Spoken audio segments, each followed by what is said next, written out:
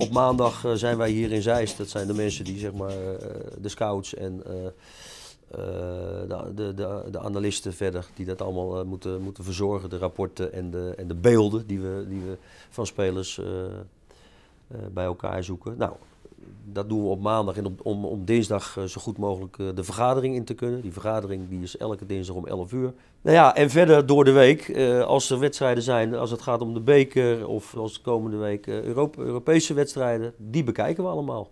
En hetzelfde geldt voor uiteraard het weekend. Dus je, je bekijkt nationaal zoveel mogelijk wedstrijden in het weekend. En, en internationaal bekijken we ook wedstrijden.